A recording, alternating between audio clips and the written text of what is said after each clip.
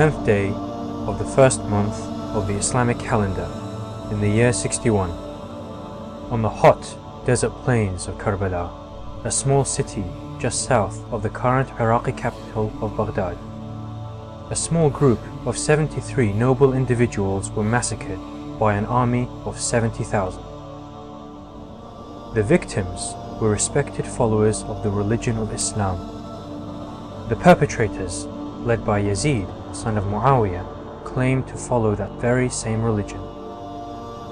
The leader of the small group of men, women and children was the grandson of the Prophet Muhammad, Hussein, son of Ali. Only 50 years had passed since the death of the last messenger of God, and yet already the Islamic nation, the Ummah, was in turmoil. The events that led to the tragedies in Karbala, however, did not begin with the reign of Yazid as the Caliph, the leader of the Ummah. They began to unfold in the last moments of Muhammad's life.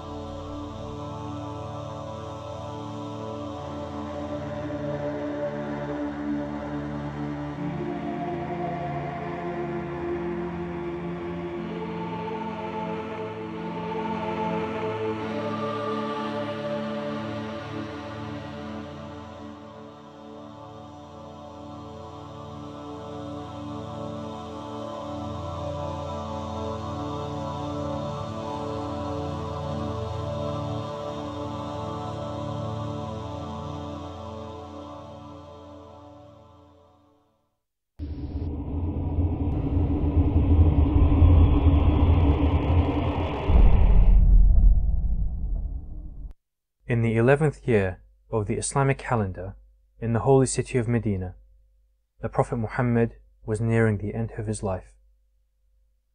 The members of his household and close companions, who had stood by him in times of both ease and difficulty, remained near his bedside until he left this world. On news of his death, while some mourned and grieved the loss of their beloved, others were preoccupied in a conspiracy to obtain power for themselves you would imagine that this person, being on his deathbed, having warned the people on so many different occasions of his, of his impending uh, passing away, uh, you would imagine that there would be a very large crowd of people surrounding him, attending to his every wish and his every request, basically praying uh, for his quick recovery. And yet, when you look at historical accounts, you see a very different picture. Whilst those who had heeded the Prophet's calls and already given their allegiances to Ali were busy burying Muhammad, a secret meeting was being held between several tribal leaders in a small hut or saqifa in an attempt to secure the future leadership of the Ummah. These leaders all sought to grasp the rulership of the Islamic nation in turn ensuring that only they were the sole beneficiaries of power. Initially, what happened was there was a, a conspiracy to conceal the Prophet's death. Um, there were calls made that anyone claiming that the Prophet has died will be beheaded. In other words, the idea was to contain the situation, control the, uh, the, the emotional outpour that would inevitably, inevitably ensue after the Prophet's uh, martyrdom uh, or, or passing away. And the idea was to contain all of that until some sort of, uh, of an interim government was, was in place. It wasn't a democratic process, it wasn't a lobbying process taking place. It was essentially a bunch of people fighting one another over uh, the opportunity to fill that void. Those remained loyal um, and thought that we have already we have already paid allegiance to Ali. How could we discuss our thing and try to rethink about it? And they refused to pay allegiance to, or to even take part in this sort of discussion. Upon hearing of the meeting that took place at Saqifa, Ali and his loyal supporters gathered at his house to discuss the situation at hand. The tribal leaders, who had by now chosen Abu Bakr as the new Caliph of Islam, took it upon themselves to obtain Ali's allegiance, if necessary, by force. Um, there was an ambush that took place against the house of Imam Ali. And the really tragic aspect of this is that Imam Ali was not just any other companion to the Prophet. Uh, he was not just the closest friend to the Prophet. He was not just the one who was raised by the Prophet himself. Uh, he grew up in the house of the Prophet of Islam. Um, the, the Prophet was his caretaker. But not only was he that close to the Prophet, he was also the husband of the Prophet's only daughter, the chief and the mistress of the women of the world, uh, Lady Fatima. May Allah's uh, peace and blessings be upon her. It is narrated by the wife of the Prophet, Umm Salama, that Fatima most resembled her father in her character, conduct, and compassion. The most important part, which, which really touches us, and especially me, is that the amazing relationship she had with her servant, Bibi Fizza. That Bibi Fatima had told Bibi Fizza that, look, you are in my house, you are brought in this house as a servant, but one day you will work and I will rest, and one day I will work and you rest. And this is an amazing um, message to and to, to humanity and to, to all of us that Islam is the only religion which tells us that even our servants or even people who are working under us have got their rights, have got respect, and how we should maintain it. Fatima Zahra to me when I think about her, I think of her as a mother, and it just goes to show how important women are in Islam and according to God, because 11 of the Imams go back to her. I think in, in all her life, um, her lifestyle was extremely modest. Um, she wasn't into any sort of worldly gain. If you just think upon her meher, which was chosen by her father, um, she completely agreed to that. She didn't look at the status of Imam Ali when, when she decided that she will marry him. She saw his noble character and she saw in him that he is good for her not only for in this world but the hereafter. The Prophet, he says, Fatima is my is a part of me. She's a part of my flesh. She's a part of my soul and spirit. فاطمة بضعة مني من أرضاها فقد أرضاني Anyone who pleases her has pleased me. And he doesn't say anyone who pleases her is like one who pleases me. No, he's saying that Fatima is somehow directly connected to my soul. Anyone pleasing her, her will have pleased me. Anyone who angers her, angers me. Anyone who hurts her has hurt me. And anyone who hurts me hurts Allah. And anyone who hurts Allah receives the damnation and the curse of Allah. So those who crushed Fatima between the wall and the door, it wasn't just Fatima that they crushed, they crushed the Prophet of Islam, Muhammad sallallahu alaihi wasallam himself between the wall and the door. They angered Allah subhanahu wa ta'ala from the very top of his throne. The ambush that took place that night at the house of Ali caused critical injuries to the daughter of the Holy Prophet. Not only did they result in the miscarriage of her unborn child, eventually her injuries led to her death, a mere six months after the passing of her father. The martyrdom of Fatima had deepened the division that had taken place between the household of Muhammad and those who opposed them. The household of the Prophet of Islam, they're called the Ahlul Bayt, the people of the house. And the people of the house refers to 14 specific individuals, starting with the Prophet of Islam, Prophet Muhammad sallallahu as well as his, uh, his successor, the commander of the faithful, Imam Ali, his daughter Fatima al-Zahra, Imam Hassan, Imam Hussein, who were uh, his grandchildren, as well as the nine specific uh, descendants of Imam Hussein. Uh, may God's peace and blessings be upon them all. The Ahlul Bayt are the family of the Prophet, peace be upon him who are recognized as being the keepers of the knowledge of the Prophet and the protectors of God's law on earth. They are mentioned on numerous occasions in the Quran, most notably in Surah 33, Surah Al-Ahzab, verse number 33. إنما يريد الله ليذهب عنكم الرجس أهل البيت ويطهركم تطهيرا Verily, God only wishes to remove all impurities from you, O people of the house, and to purify you with a thorough purification. The events that took place at Karbala in the year 61 of the Islamic calendar were centered around Hussein, the son of Fatima and Ali, and the grandson of the Holy Prophet. No one shares with Imam Hussein this merit other than his mother Fatima.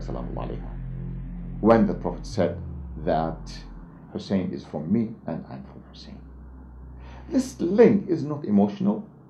It is not something to say that, okay, the Prophet wants to show his love to his grandson Hussein at all. No, it is something in the depth of our understanding. When the news of the birth of Imam Hussein was related to the Holy Prophet by Asma, and the Holy Prophet had the news, he went to welcome his grandson, Imam Hussein alayhi salam. When he was given this young baby, actually the Holy Prophet was very happy. But after a few minutes he started crying, shedding tears. And Asma couldn't understand that. He, she wanted to know, what is this? And she did ask actually the Holy Prophet, why are you crying? Then the Holy Prophet ﷺ said, I'm crying because of my son, this. Asma said, but she, he, he is Walidus Sa'a. He has just been born. Why are you crying for? Then the Holy Prophet had to, to tell Asma what will happen in Karbala. It will be a very sad event. He would kiss Imam Hussein's hands, he would kiss his lips, he would kiss his under his throat, he would uh, hold him, he would let him uh, go on his shoulder. So it was public. He was showing people how much love he has for Imam Hussein. The Holy Prophet ﷺ used to call Al Imam Al Hassan and Al Hussein as uh, my sons. And by, by the way, if you look uh, in reality, they were not sons, they were uh, grandsons. But he used to call them Abna'i to show that special love. We find with Imam al-Hussein that he comes forward and is recognized by many as a person of the highest morals and a person of great character and a person, most importantly, of humility. Without the rise of Imam Hussein alayhi salam, no one would know anything about Islam at all. In the final days of Abu Bakr's caliphate, he appointed Umar al-Khattab to follow him, who in turn was succeeded by Uthman ibn Affan. Upon Uthman's murder, however, the Ummah urged Ali to become the caliph. After much deliberation, Ali accepted the call and made Kufa, at the time a garrison city, the new Islamic capital. However, he was still opposed on many fronts. After four years of difficult rule, he was murdered whilst leading the morning prayers in the city of Kufa.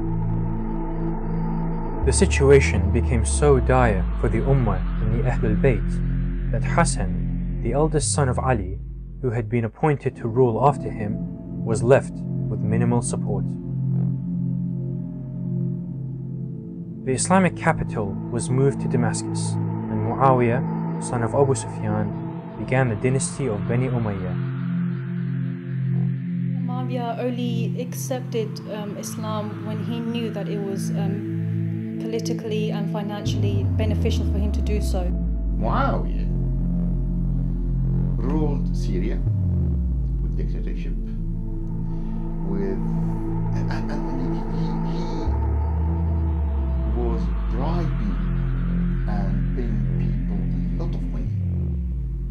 to fabricate hadiths in favor of Muawiyah and against Imam Ali Therefore, within Bani Umayyah, God describes them in chapter 17 of the Quran, verse number 60, as being the cursed tree, the tree that sought to fight the religion of Islam and the teachings of the Prophet. Muawiyah was known as an extremely oppressive leader, and his oppression was most meted out against the companions of the Prophet, peace be upon him. Amongst these companions, for example, one finds the great companion Ammar ibn Yasir, whose two par- whose parents, Sumayya and Yasir, were the first martyrs in Islam. When we look at Ammar bin Yasir, the Prophet used to say, Ammar taqtiluka al-fi'at al-baghiyah. Ammar, you will be killed by infidels. And who was it that killed Ammar bin Yasir? Ammar was killed in the battle of Siffin by the army of Muawiyah. By this time, the condition of the Islamic Ummah had reached an unbearable state. Corruption was rife amongst those with power, and the Bani Umayyah had wreaked havoc across the Muslim lands. When Yazid came to power, one of his first objectives was to gain the allegiance of Hussein, son of Ali, as his support would provide legitimacy to Yazid's otherwise illegitimate rule. Hussein who had inherited the qualities of his father and grandfather before him, refused the request, and in doing so, put himself at risk of persecution from the Caliph. Yazid uh, was the son of Muawiyah. Muawiyah was the son of Abu Sufyan. Abu Sufyan was the, the greatest enemy of the Holy Prophet sallallahu alaihi wasallam. Yazid was known to everybody as an arrogant uh, young person that takes pleasure in anything that he likes. So Yazid was brought up as a, a, a, any young man, and uh, he didn't care much about Islam because his father couldn't care much about Islam. A person who in no way attempted to protect the teachings of our Prophet nor in any way did he seek to be a reflection of the Holy Book. In one occasion, he bombarded the Kaaba and burned it, which, according to all Muslims, Kaaba is the most holiest, the holiest place and the most sacred place in Islam. And this is Khalifat al-Muslimin, Yazid, who attacks and burns the Kaaba. In second incident, it was the attack and it was called Waqatul Harra, where the soldiers of Yazid were ordered to kill thousands of people and rape the girls and the ladies there. If you, you could find someone who would do an evil thing, then Yazid would do more and more. He broke every single law of Islam openly News spread across the Ummah of Hussein's stance against Yazid. The people of Kufa, which was one of the weaker links in the Caliph's empire, called upon Hussein to lead them against Yazid in a bid to overthrow the Umayyad dynasty. Countless invitations were made to Hussein, who was by now on his way to Mecca to perform the Hajj pilgrimage. He decided to further investigate the situation in Kufa and to confirm their loyalty to him and his cause. So he sent Muslim, son of Aqil. Muslim ibn Aqil was the deputy of Imam Hussein salam. He was also the cousin of Imam Hussein salam, and he was sent on command of Imam Hussein salam to Kufa when Kufians had called for help. So Imam Hussein had told Muslim ibn Aqil to go to Kufa and do research on what are the issues and what is the situation in Kufa. The first finding of Muslim Aqil was that yes, these are all to Hussein, I want him to come. So he sent his report to Imam Hussein that everything is ready and you're welcome. So Imam Hussein moved to Kufa. Muslim Aqil used to lead the prayers in the great mosque of Kufa. When he led the Salat al-Maghrib, 30,000 people who were following. The support for Muslim bin Aqil in Kufa had become a major threat to Yazid and his governor, Ubaidullah bin Ziyad. During the evening prayers, people were sent from the court to the governor, publicly announcing that anyone found supporting Muslim bin Aqil will be tortured and put to death. Whatever was the case, ended up with the finished Salat al Maghrib. The 30,000 were reduced to 18 only. And when he finished Salat al Isha, there was none to join him. Finding himself outnumbered and alone, Muslim saw the reality of the situation and quickly sent word to Hussein to cease his journey to Kufa. Muslim was surrounded by the army of Ubaidullah and was taken to the court of the governor, where he was tortured and finally beheaded. He had been dead a few days, and Kufa was under the control of Yazid before Muslim's message had reached the caravan of Hussein. By this time, Hussein, who was close to approaching Kufa, had been intercepted by an army sent by Yazid under the leadership of Hur ibn Yazid al-Riyahi. On the 3rd of Muharram, in the year 61, Hussein and his caravan of family members were confronted and made to stop at Karbala by the river Euphrates. For it was not only Hussein's companions that chose to accompany him, but also his sons, his women, and younger children, in the knowledge that they were under grave danger and probable death. What Hussein just to take his companions, certain people may argue that he was willing, yes, to sacrifice himself, but not sacrifice his family.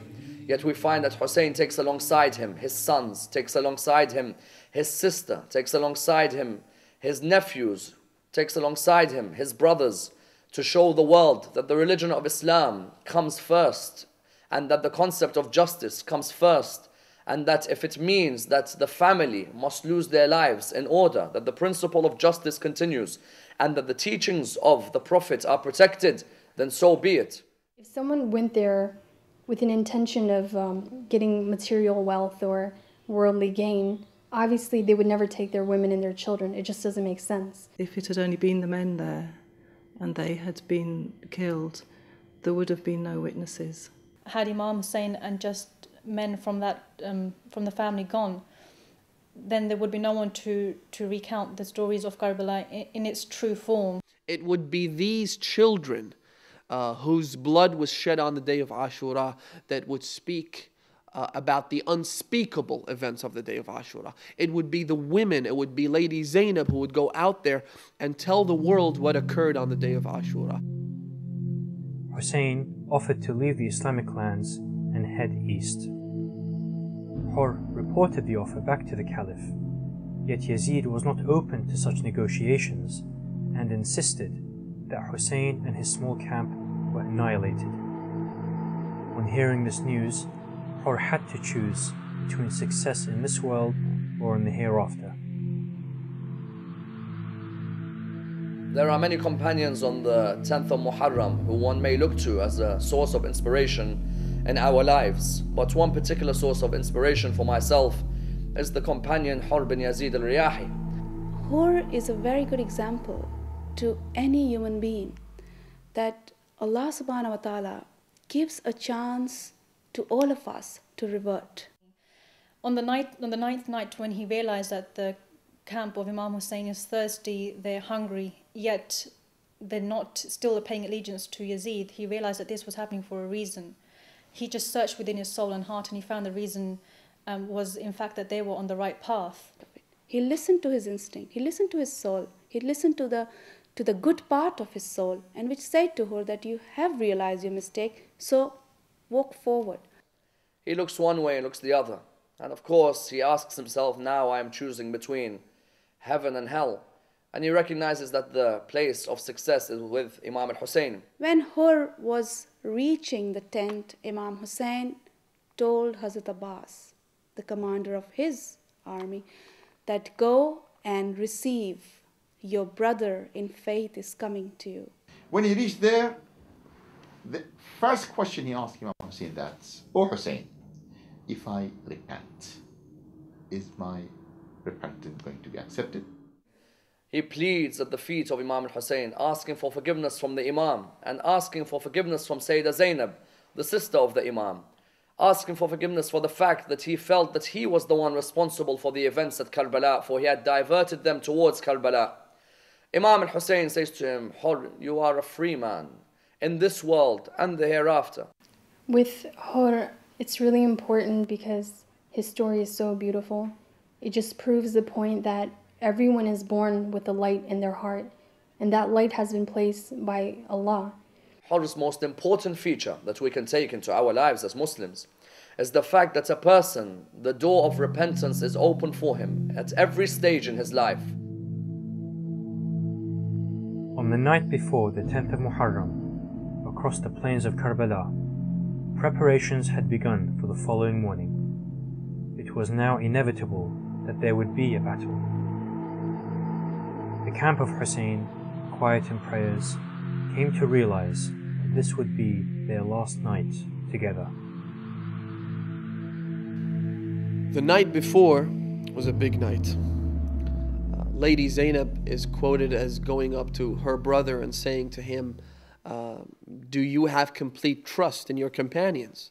Can you basically rely on them to protect you and to protect us tomorrow? Because it, tomorrow is a big day. Do you have that level of trust in your companions? The traditions tell us that one of the companions who was uh, basically guarding the tent in which Imam Hussein and his sister Zainab uh, were speaking to one another, he overheard the conversation between the brother and the sister. And he goes back to the tent of the companions and he tells them, Listen, tonight's the night, and right now, what we need to do is to show our loyalty to our master. Right now, what we need to do is, is to go and uh, give Lady Zainab the assurance that we are going to be the men that we claim to be. The Imam came to the companions and told them that my allegiance is off of you. There's no bay'ah. You've done your job. These people want to kill me. They have nothing to do. If you guys, you can use the night. They're not going to find you. You can leave right now. Go settle somewhere where they can't get a hold of you. They come out of their tents like roaring lions with chivalry, with courage, with such a, a, great amount of, of conviction and strong and solid faith in their hearts that can only be possessed by a person who has witnessed his position in paradise. They all were fully aware that the Imam was doing something that was ordered for him to do by Allah subhanahu wa ta'ala. Imam Hussein alayhi salam said, I have never seen and I don't know the companions of anyone who are better than you, my companions. You could just imagine 73 of the most noble men history has ever witnessed. Amongst the companions was one who was recognized as being a person who hardly smiled in his life. They came to him on the 10th of Muharram. They asked him, How comes now you smile, whereas the rest of your life you were hardly ever seen smiling? He says, My life has been a struggle, but now the struggle is complete with Hussein ibn Ali.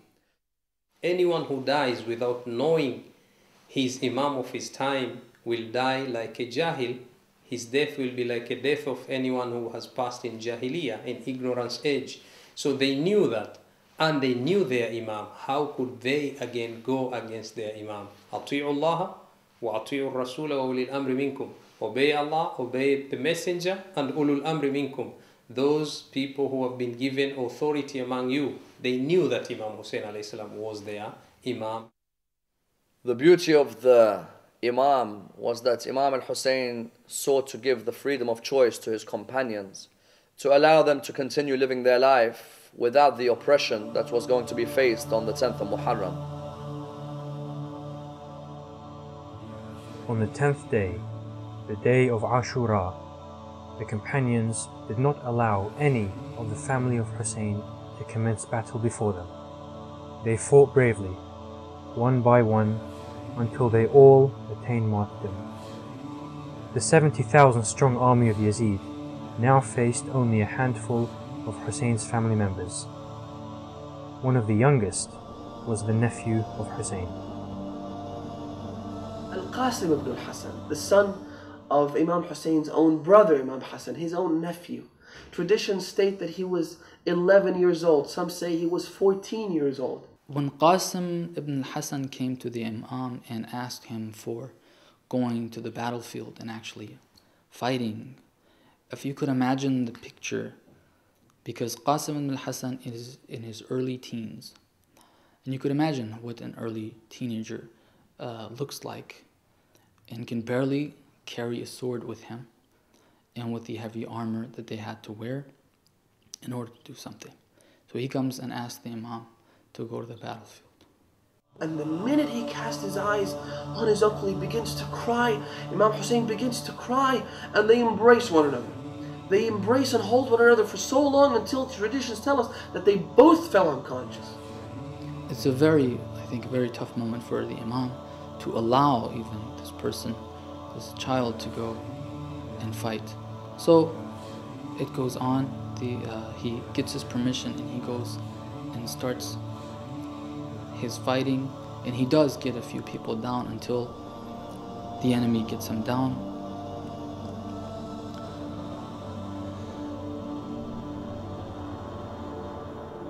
Course, he calls for his uncle to come on him.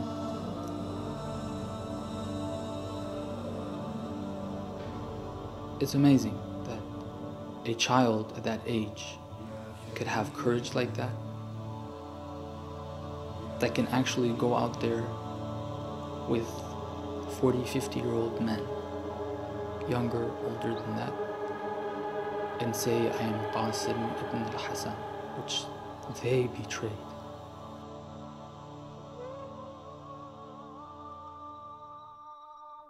Ali Akbar, of course, is the oldest son of the Imam. His morals were a reflection of his grandfather. His intellect was a reflection of his grandfather. Ali Akbar used to always insist, even as a young man, he used to say, Allow the poor to come and eat from my hands. Yet what type of generosity did he face on the 10th of Muharram? After uh, the companions had all gone and fought their battles and became shaheed, Ali Akbar was the first to go and ask permission to go and fight. So no one would think that the Imam uh, or the children of Imam think themselves as higher than the rest. He comes to his father to seek permission for him to leave. You see, with all the other family members of Imam Hussein, his nephews, his brothers, his, uh, uh, his cousins, with all of them, the case was that Imam Hussein would not grant them permission at the first uh, at the first instance. They would come back, they would plead with him, they would beg him, and only then would the Imam give them permission. The only exception was that when Imam Hussein saw his own son Ali al-Akbar come into the tent and he asked him for permission, the traditions say that Imam Hussein gave him the permission instantly. He didn't wait for him to, bleed, to plead. He didn't wait for him to, to besiege the Imam for permission. He gave him the permission straight away. It's his own son, and the Imam is there in order to offer a sacrifice. He hugs Ali Akbar and then asks Ali Akbar to go and speak with the woman of the camp, with his mother and with his auntie, for it is the final hug he would give a mother, and the final hug he gives an auntie. So he went and fought a great battle and killed a lot of the enemy, and he returned to his father. And he tells his father again, he says, The heat of Karbala is killing me. What words does his father have to offer as consolation apart from saying to his son that, My son, within a few moments, your grandfather will give you water from the pool of Kawthar? He said his farewells to his father again and went and fought.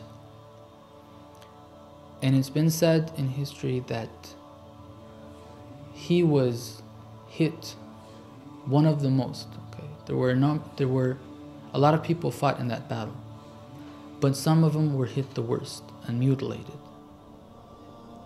The history says that they say about him. He says, "قطعوه قطعوه عربا عربا." They uh, more than mutilating, they really cut him to pieces. Sallallahu alayhi wa ala Eventually, Imam collects his son's body. it's narrated in a hadith.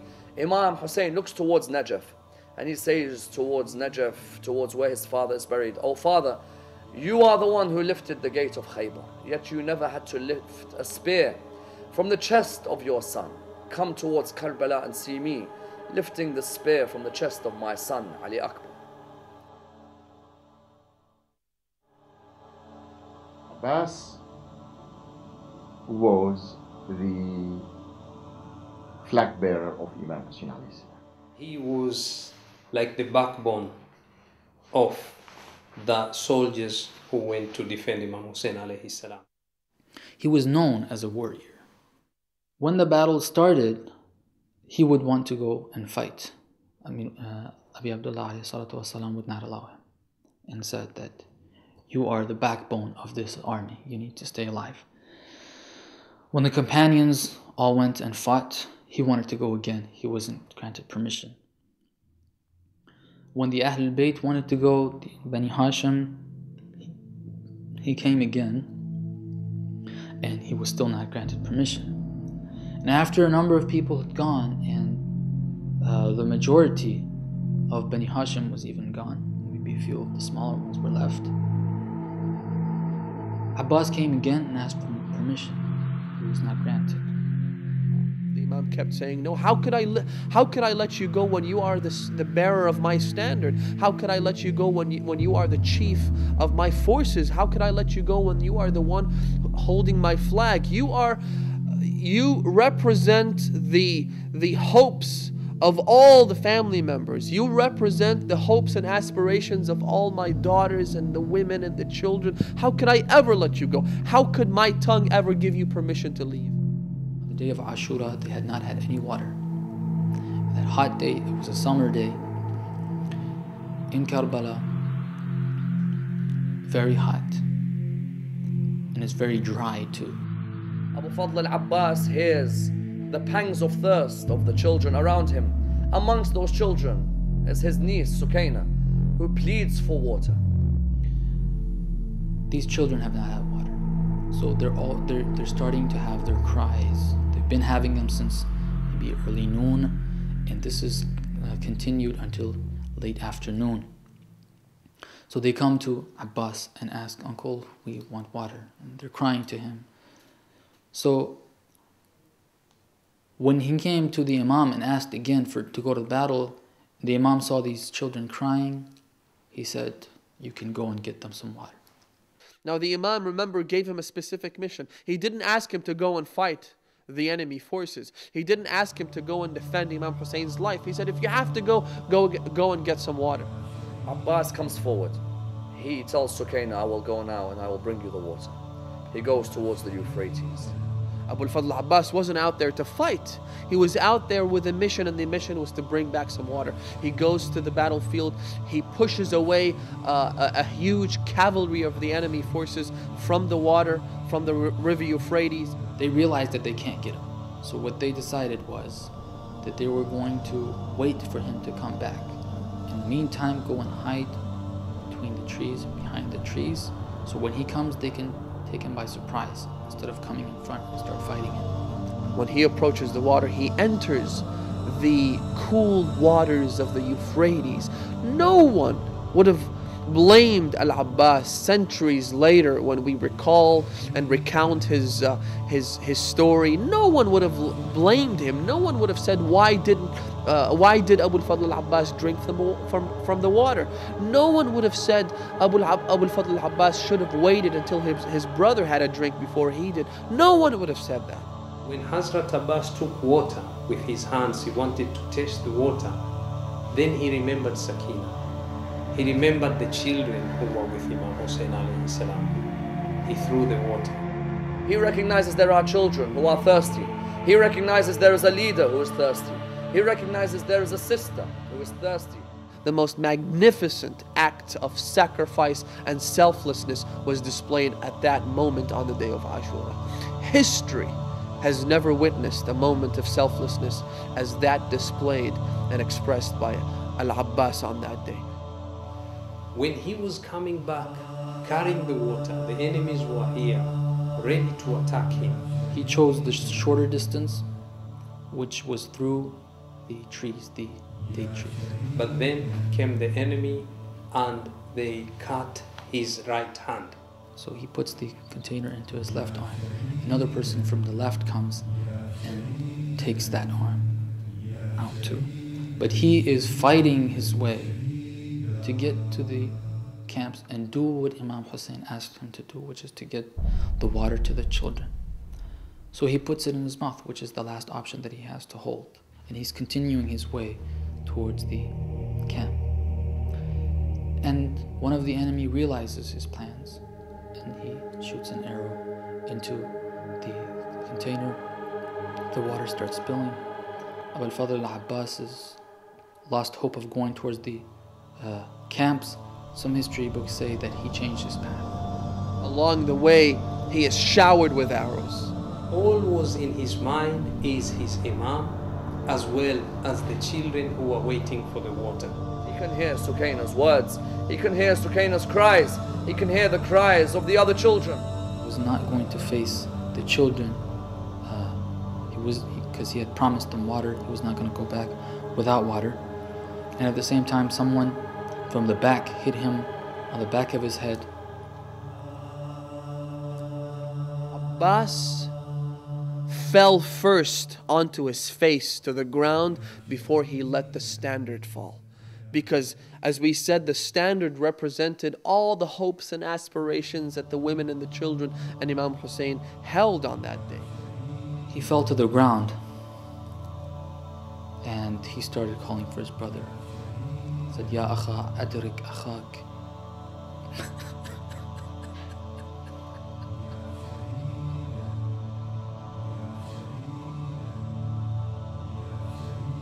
And when Imam Hussein alayhi salam saw him on the ground, he came fighting against the enemy. When he reached him, all that Abbas could say is that tell Sakina that I couldn't bring the water.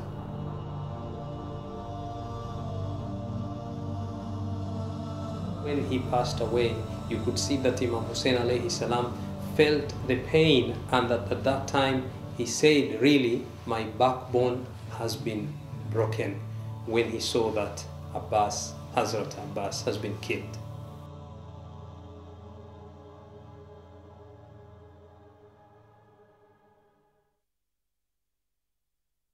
The greatest sacrifice in Karbala, one may argue, is the sacrifice of a six month old. Imam comes forward in the heat of Karbala. Abbas and Ali Akbar and Qasim and Muslim and Habib and Hur may all have been able to control their thirst to a certain extent. Yet, how does one expect a six month old to go without water or to go without milk?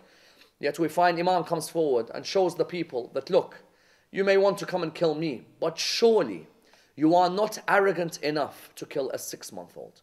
I may want to protect the message of my Prophet, but the six month old is coming forward just looking for a drink of water. Imam wanted to symbolize to the whole world that these weren't people who were seeking to protect Islam. For the, seek, for the people who seek to protect Islam are not those who would ever massacre a six month old. Imam Hussein took Ali al-Asghar Abdullah to the battlefield and said, look, if you think that we, the grown-up, have some sort of thing to be punished for, can you tell me about this innocent infant who did not commit any sin? There's no fault at all. He didn't do anything. Saying then says, If you think I will drink of the water, I will put Ali Asghar on, on the sands, these hot sands of Karbala, and then you give him the water. And as Imam Hussein places him on the floor, you see Ali Asghar's dry tongue come out.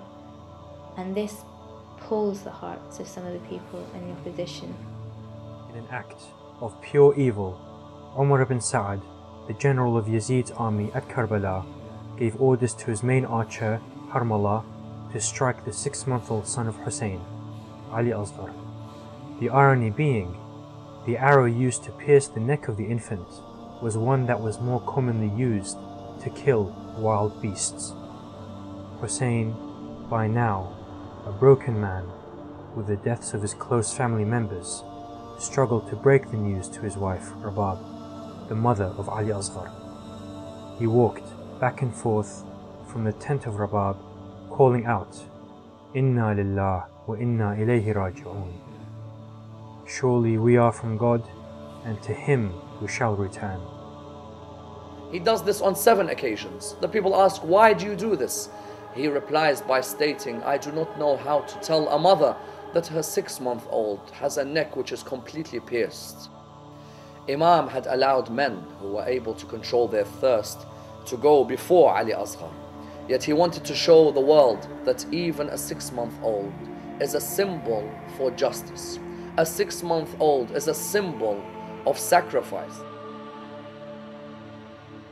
This was the martyrdom of the last soldier in the camp of alayhi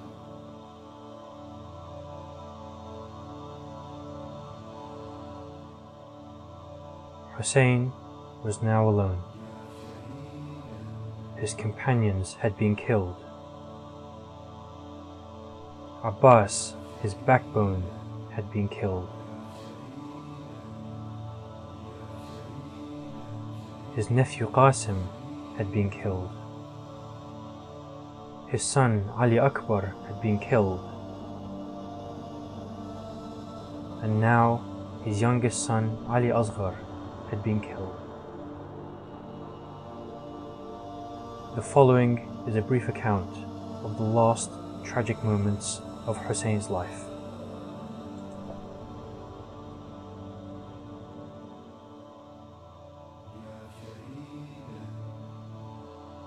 Imam Hussein advanced towards the enemy, raising his sword, losing all hope, all hope of survival. Abdullah ibn Ammar said, Never have I seen someone surrounded by a huge number of enemies and whose son is slaughtered, and so are his family as com- and companions, and who still maintained his composure, remained relentless, and stayed courageous more than Hussein. He said, I am the one who is fighting you, and women are not held accountable, so keep your rogues away from them and stop them from harming my women as long as I am alive. Then he bade his family farewell for the second time, ordering them to be patient. He put on the outer mantles, as he said, Get ready for affliction, get ready for tribulation, and be advised that Allah Almighty shall protect and safeguard you. The ladies who were raised in the lap of prophethood saw them, the pillar of their security, the bulwark of their protection, the defender of their prestige, and the symbol of their honor, telling them of a departure from which he would never return. As for the wise lady of Beni Hashim, namely Zainab al-Kubra, she saw all of that. We, we see how the secure niche of the religion was about to be dislocated, the rope of prophethood to be cut off, the lantern of the Sharia to be put out. As Imam Hussein was about to leave for the battlefield, he heard a cry from behind calling out, Ah, mahlan mahla, ya ibn al-Zahra. Wait for a moment, O son of Fatima. This is your sister Zainab. Imam Hussein stopped. His sister Zainab approached him. She said to him, Ya Aba Abdullah, our mother Fatima asked, if our mother Fatima instructed me to do something on this day and on the, in this moment. She wanted me to kiss you on the forehead and on your and on your throat. Imam al-Hussein came down. She kissed him on the forehead. She kissed him on the throat. The forehead would be the target of the stone on that day, and the forehead would and the throat would, would be severed with a dagger. Hussein attacked the en- enemy like an angry lion. Anyone who could catch up with him, he stabbed with his sword and killed as he was receiving the arrows from all directions, bracing them with his chest and with his neck. Having become too feeble to fight, he stood to rest. It was then that a man threw a stone at him, hitting his forehead and causing his blood to run down his face. He took his shirt to wipe his blood from his eyes, just as another man shot him with a three pronged arrow, which pierced his chest and settled in his heart. He instantly said, In the name of Allah, Bismillah, wa billah, wa fi sabilillah, wa ala millati Rasulillah. And on the creed of the Messenger of Allah, raising his head to the heavens, he said, O Lord, you know that they are killing a man besides whom there is no other son of your prophet's daughter. As soon as he took the arrow out of his back, blood gushed forth. On his face and beard as he said, Thus shall I appear when I meet my Lord and my grandfather, the messenger of Allah, drenched in my blood.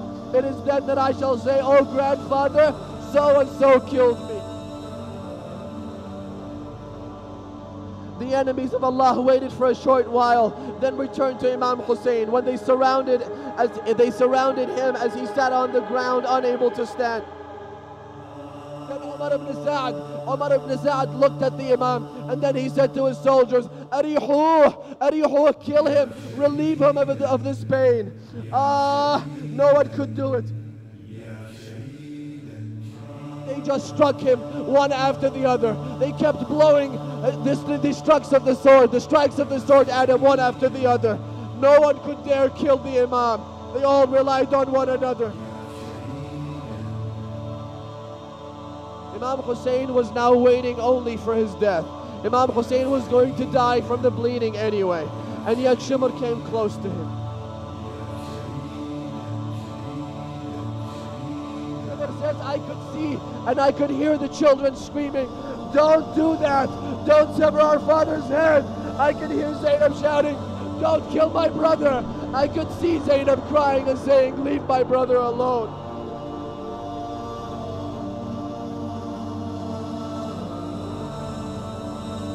He ran and I ran.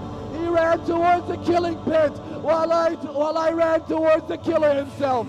He drew and I drew. He drew the dagger from his pocket while I drew a sigh of grief from my chest. He severed and I severed. He severed and I severed. He severed my brother's. He severed my brother's head while I severed my hope. أبد والله ما ننسى حسينا وحسين وحسين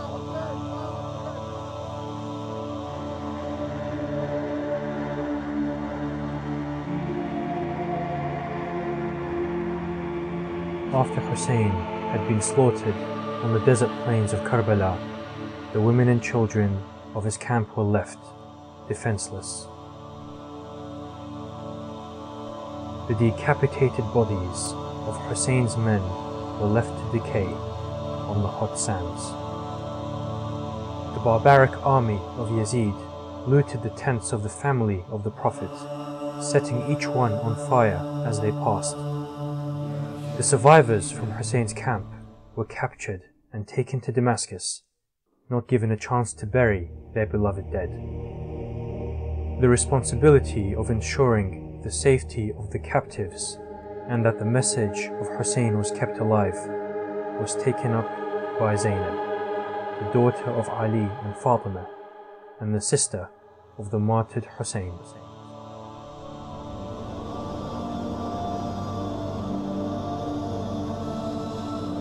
The relevance of Imam al-Hussein's sacrifice and the sacrifice of his family and his companions highlights number one, Islam's constant spread of the concept of justice.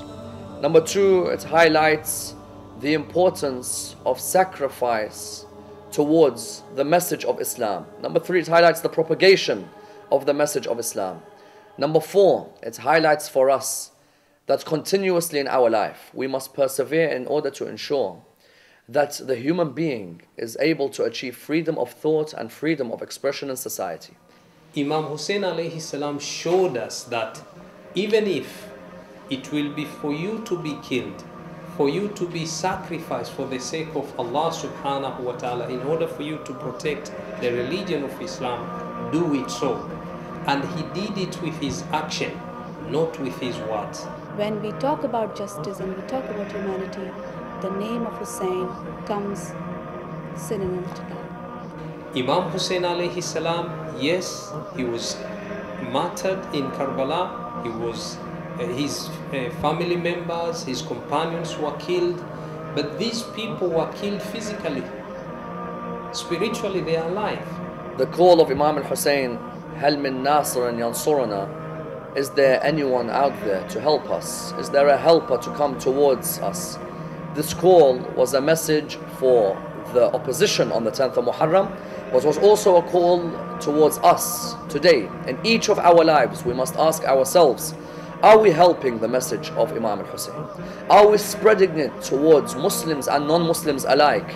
Are we writing about this message? Karbala showed us that what we can learn from it is that we have to distinguish between right and wrong. The world seeks to follow such people as role models. Therefore, in the same way we see contemporary figures who have stood up for justice, Hussein ibn Ali comes as the highest in this list, as a man who on the battlefield was the bravest, but as a man who off the battlefield was the most generous, And a man who told us that if it means that his life had to be killed, his life had to be ended in order that the light of the candle of Islam continued, then it did not matter. For the light of the candle of freedom and the light of the candle of expression and speech and justice is the light that we must always seek to ensure continues to shine. So it is for us to apply Karbala in our life and in order for us to live a happy life either here or in the next world inshallah.